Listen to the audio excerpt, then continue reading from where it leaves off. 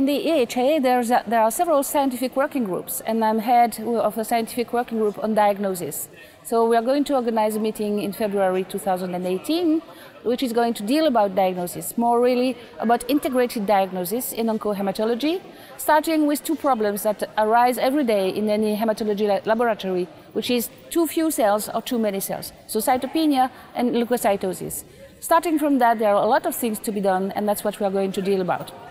The meeting is going to be made for people who are working in the lab, predominantly, and um, there are two things in hematology that are sort of taken for granted that you look down the microscope to see what the cells are, and then you go on the flow cytometer to complete what you've seen under the microscope.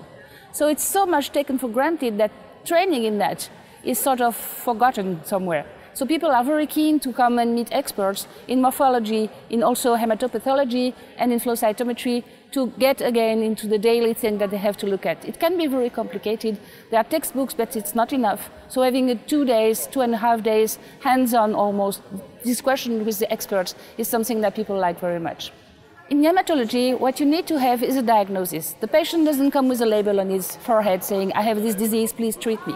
So morphology, flow cytometry, and now other methods like cytogenetics or molecular biology are all to be integrated together so that we can provide the clinician with a proper answer for the, for the patient. And then the treatment is going to be adapted. We are also talking now about personalized medicine or precision medicine, which need all those steps in the lab before you actually go to the patient and the treatment. Participants to this kind of meeting really like to see the difficult thing that they see down their microscope or in the flow cytometer and understand that other people also find that difficult. So we're going to go through very bizarre things uh, that they encounter and don't really every time know what to do about. And then we're going to talk with them and the experts that are going to come there are going to help them understand that it is difficult what they are doing and that they are not alone in the world for that. So it's a sort of companionship. The program is very busy, but we hope to have enough time for discussions with the experts and between the attendants. As I just said, diagnosis is at the basis of everything.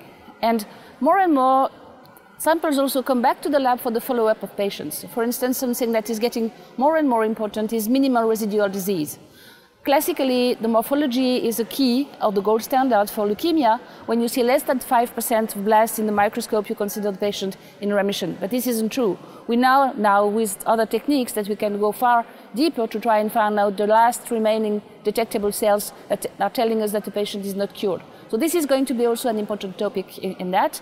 And we are going also to have the patients come there because some in, in one specific disease, which is chronic myelocytic leukemia, we can treat them very efficiently. We are discussing now of stopping treatment, and they know very well about the follow-up of their disease. So we want also their feedback because we do things in the lab for them during the whole life of their disease that they also want to know about.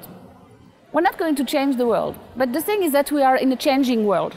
And the people who are going to attend this meeting know that. They want to be up to date to what has to be done, keep, to doing, keep doing the things that are the basics, but also know about other new things that are going to change the treatment, as I said before.